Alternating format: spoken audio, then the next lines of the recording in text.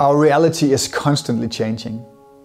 Just think about some of the events, some of the developments in recent years that has created surprising futures for people and organizations to navigate in. This means that we need to become much more comfortable in challenging the business as usual future so often held onto by people and organizations. This is where the field of strategic foresight can help us become more proactive in the way that we engage with change and engage with uncertainty. Breaking old habits and building confidence in working strategically with the future is by no means easy, but it's something that can be practiced. We need tools, we need techniques, mindsets, and new mental models. From our position as world leading in applying futures thinking and foresight to strategic challenges, we've developed this course to give you the tools and the foresight habits to navigate the uncertainties of the future. This course is for decision makers, it's for innovation managers, for strategic planners, for designers, really for anyone who feel